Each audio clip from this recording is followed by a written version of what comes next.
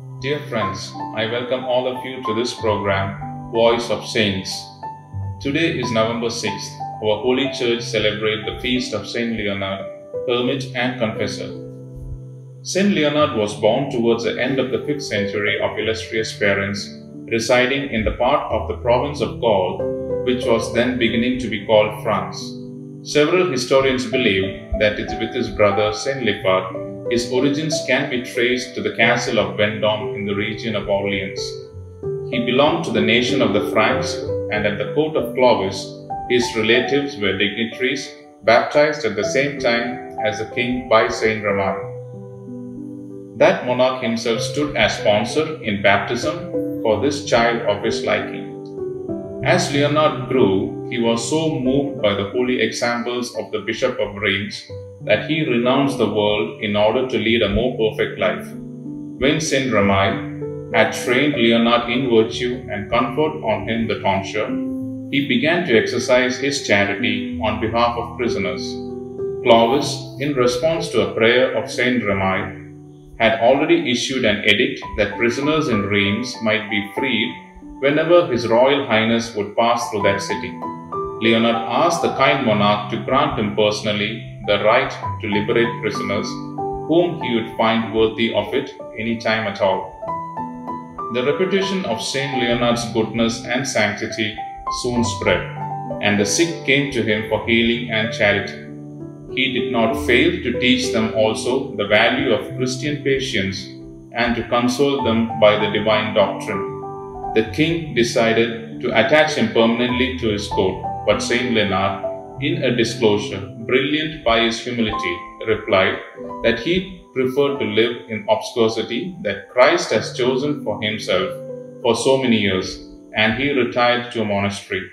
Saint Maximin, its abbot, saw to it that he was ordained a deacon, the office he accepted out of obedience, but he did not aspire to any additional canonical dignities. He recognized that his role was not to remain always in the monastery, and departed to preach to the pagans of the province of Limoges. He found on a nearby mountain a forested solitude which he decided to remain, and there he built a cell of branches and considered himself rich in possession of God, joyous in his freedom to devote himself to meditation, prayer, and mortification. He continued to obtain miracles when solicited by the suffering members of Jesus Christ the spouse of a king living nearby, had a successful delivery of a child by his prayers when her very life was despaired of, and the king, in gratitude, gave him a part of the forest to dispose of as he wished. There he built an oratory to the Blessed Virgin Mary. Two disciples joined him in his sanctuary, continuing to pray without the interruption when their master went on pilgrimage to the tomb of the saints. Soon the sick came to St. Leonard here, and prisoners who invoked him from their cells saw their chains break before their eyes. Many came to him afterwards, bringing their heavy chains and irons to offer them in homage.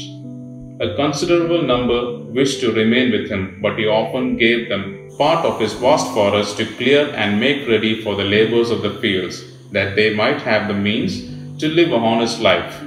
He continued to be their guardian and father and preached the religion of our Savior to them. And those who have once been wrongdoers were transformed by prayer and labor. Seven families of persons who were his relatives in the north heard of his reputation, decided to come to him and remain with him. He was surprised but encouraged their good resolution, saying, A fare of dry bread eaten in the joy of a pure conscience is more worthy than a house abundantly furnished where quarrels and divisions prevail.